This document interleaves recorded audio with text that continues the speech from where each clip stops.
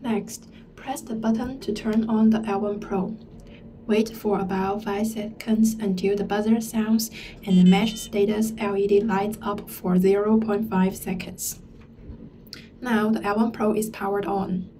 The mesh status LED will start flashing, indicating that the device is working properly.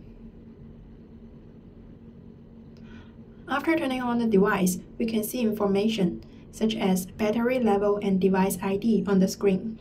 We can control the device using the menu button and this four-way joystick.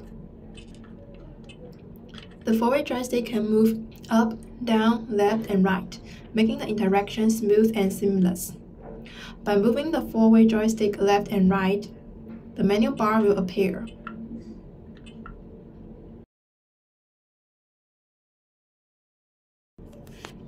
Next, let's go through each tab of the menu bar one by one.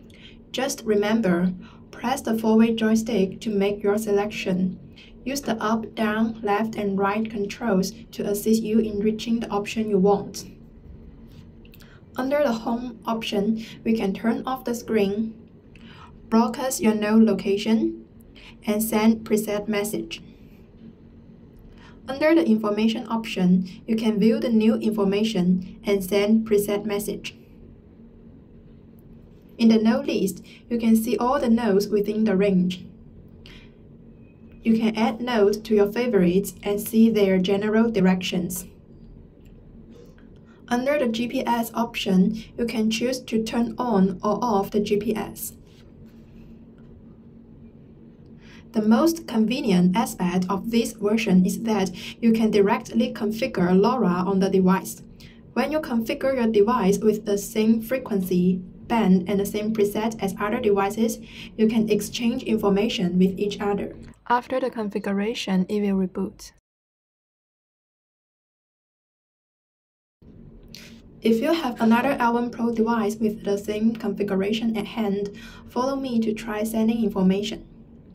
When you depress the four-way joystick downward, you can enter the information sending page.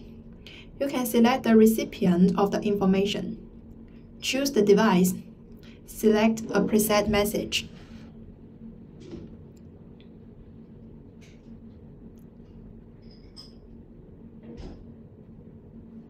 Click Yes. See, the other device ring and display the message. You succeed. You can also change the recipient. Choose Broadcast. Then all devices in the same frequency band will receive your message. Let's choose a preset message.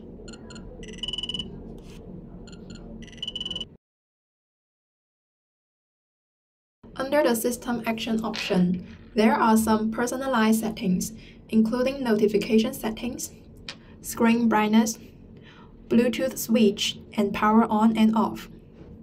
You can also configure your time zone, clock phase, and time format under the clock options.